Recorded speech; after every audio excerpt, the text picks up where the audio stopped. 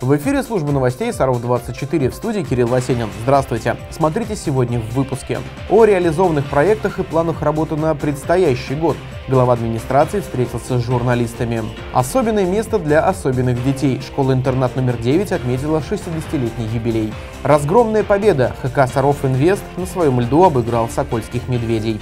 Далее расскажем обо всем подробно.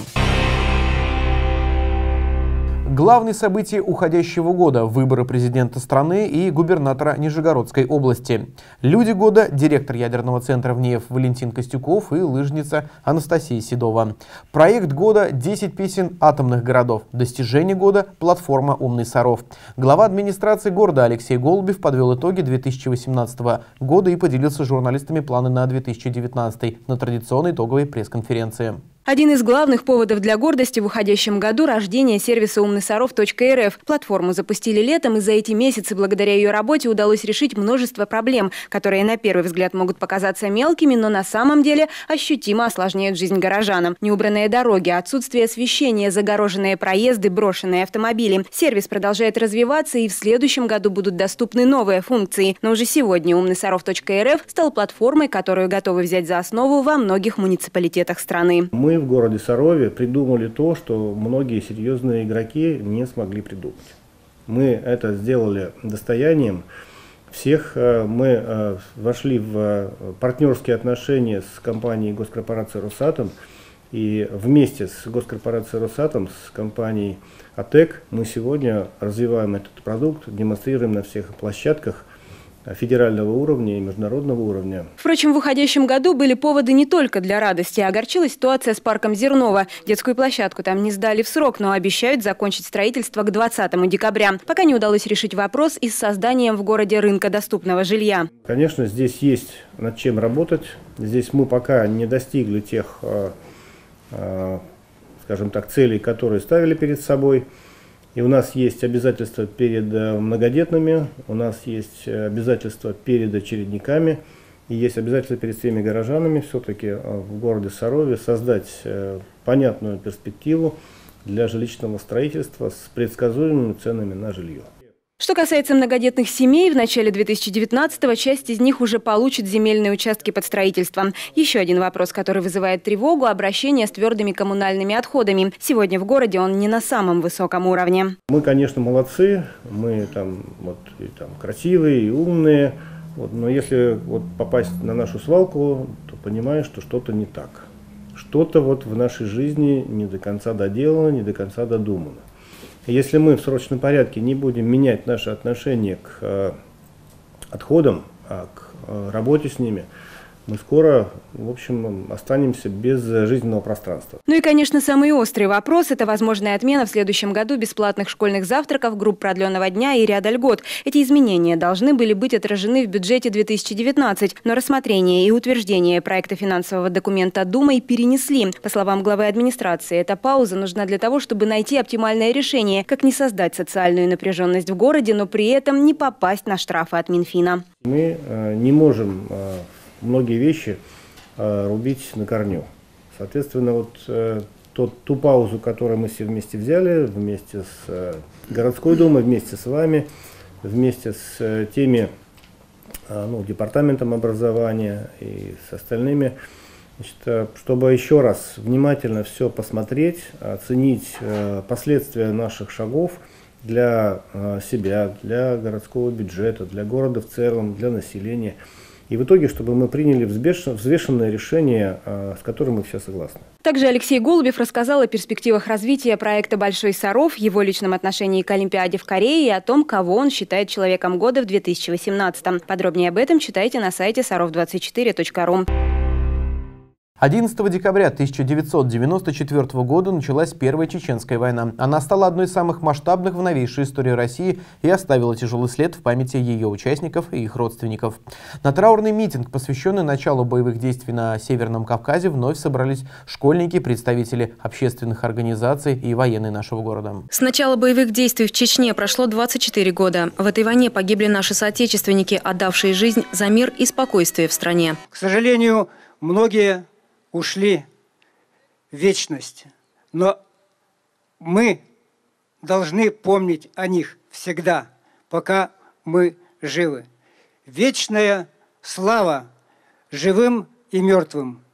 И вечная память погибшим. У памятника воинам-интернационалистам собрались родные и близкие погибших, представители городской думы, администрации, школьники, студенты и воспитанники военно-патриотических клубов Центра внешкольной работы. Каждый человек, каждый студент, каждый воспитанник военно-патриотических клубов, да и вообще каждый гражданин России должен помнить свое прошлое. Пока мы помним прошлое, мы смотрим в будущее. Участники митинга вспомнили каждого саровчанина, погибшего во время боевых действий на территории Чеченской Республики и почтили память павших воинов минутой молчания. В следующем году девятиклассники перед экзаменами будут проходить собеседование по русскому языку, успешное прохождение которого станет допуском к ОГЭ. Минпросвещение совместно с Рособорнадзором утвердили новые порядки проведения государственной итоговой аттестации. Проводиться подобное собеседование будет во вторую среду февраля и оцениваться по системе «зачет-незачет». Для участников, получивших незачет, либо пропустивших собеседование по уважительной причине, предусмотрены дополнительные сроки сдачи. Другая важная информация в подборке коротких новостей.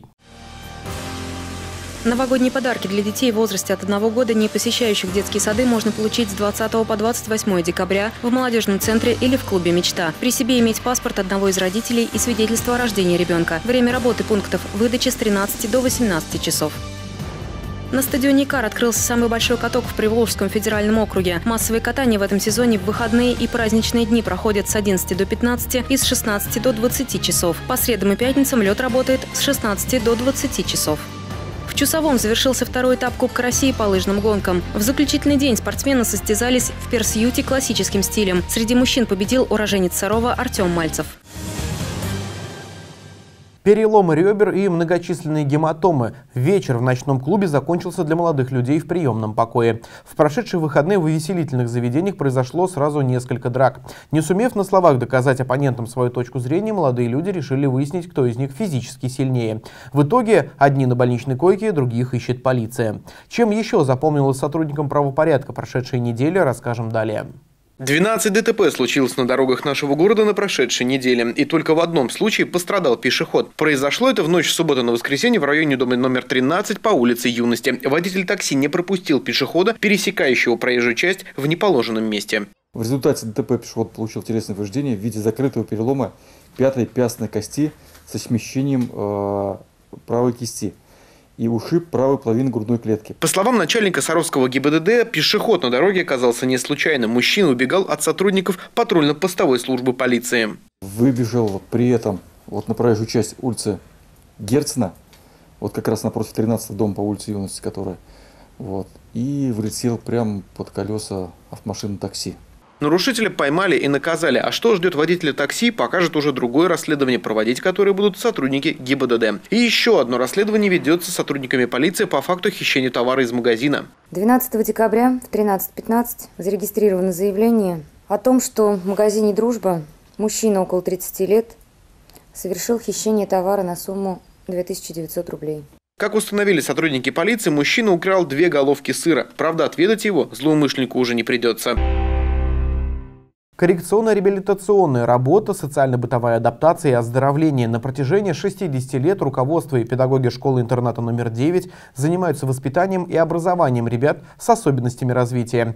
За эти годы в стенах школы-интерната номер 9 выросло более 700 детей. На торжественном вечере по случаю юбилея побывала наша съемочная группа. Уроки, занятия по выбору для старшеклассников, факультативы, коррекционные курсы, индивидуальное обучение на дому. Силами педагогов школы-интерната номер 9 любовь любой обычный урок становится особенным. А главный результат комплексной коррекционно-педагогической работы – это достижение воспитанников и признание профессиональных заслуг на высоком уровне. Здесь работают те настоящие люди, которые дарят свое сердце, которые дарят свою душу и которые отдают делают этот дом домом для тех детей, которые приходят сюда.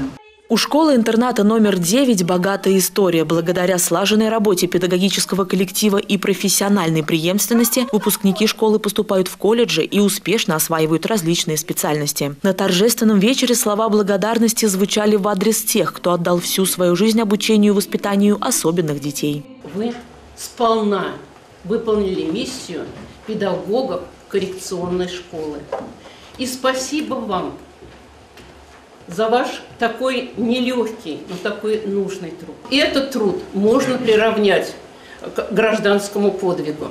Не так давно на базе школы-интерната номер 9 создан ресурсный центр по обмену опытом в сфере инклюзивного образования. Важный шаг в создании в городе единой системы работы с детьми с особенностями здоровья – это включение школы в сетевой инновационный проект «Нижегородская школа. Территория здоровья. Новые границы возможностей для детей с ОВЗ». У нас очень дружный коллектив, у нас замечательные дети, у нас внимательные родители, у нас э, шефы, э, которые всегда помнят о нас.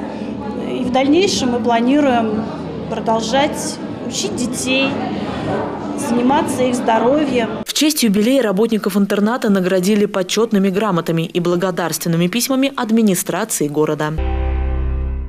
Подвели итоги творческого сезона. В Центре культуры и досуга в НИЕВ состоялся отчетный концерт вокального коллектива «Апрель». В репертуаре вокалистов песни отечественных композиторов разных лет. Для итогового выступления солисты подобрали шлягеры и хиты советской эстрады. Подробности в следующем репортаже. Творческий коллектив «Апрель» существует в нашем городе уже более 30 лет. Солисты не раз становились лауреатами областных, всероссийских и международных конкурсов. Для каждого из них песня – это неотъемлемая часть жизни. Этот праздник песни песни, праздник творчества, праздник красивых людей, а, которые уже не просто не мыслят жить э, без песни, без сцены, без зрителей. Это их э, э, впечатляет, их заставляет жить полноценной жизнью. Евгения Коробко пришла в коллектив 7 лет назад, когда поняла, что ее жизнь без песни и сцены пуста. Под руководством Ирины Левченко вновь начала заниматься вокалом, а затем и выступать. Песни выбирает лирические и мелодичные. Ну, конечно, лирика ближе мне больше советские песни, как-то более ложатся, как-то более душе моей. В итоговом концерте впервые на большую сцену вышел воспитанник детской школы искусств номер два Денис Савельев. Он исполнил известную песню Игоря Матвиенко и Александра Шаганова, которая в детском исполнении получила новую жизнь. Только мы